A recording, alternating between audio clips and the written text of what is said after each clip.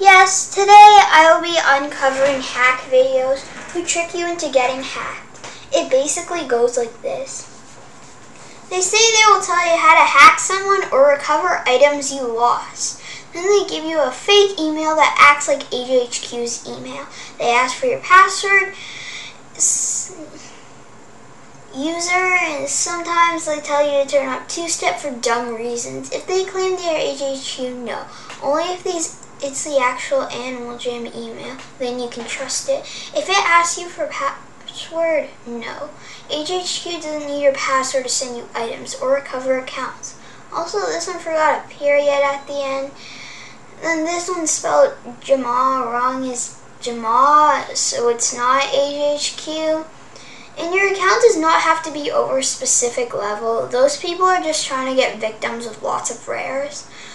One of the ones I found asked for your password and made it look like they were bribing AJHQ by saying they would quit if they didn't get their items back. I just think it's hilarious, they said. Nobody knew the password to my account, but I got hacked. I couldn't stop laughing at this one. It may sound sketchy, but it isn't. Crying face. And also the email. I'm sorry. I know hacking is a serious topic, topic, but still. Older accounts get accepted. That's proof they're trying to hack. Call me out in the comments if I'm wrong on one of these. Again, you don't need to include your password to get your account or items back. Just know, some people try to cover up the fact they're trying to hack. Like this one said, to prove I'm not hacking any jammers, here's my alt account.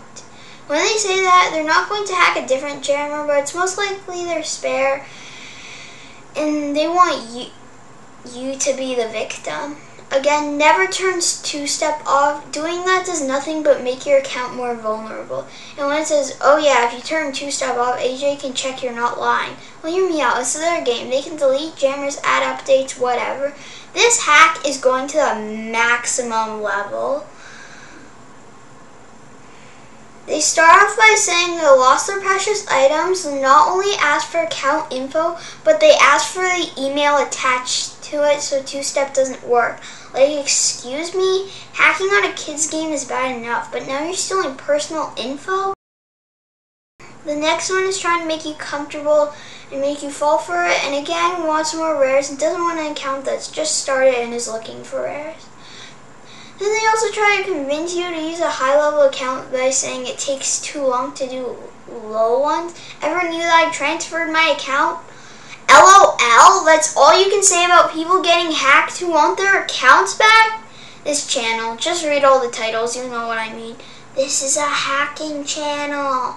Sorry this took more time than usual. I just wanted to explain this properly so you all understand. Thanks for watching, subscribe, and like, and I'll see you in another video. Ice cream out.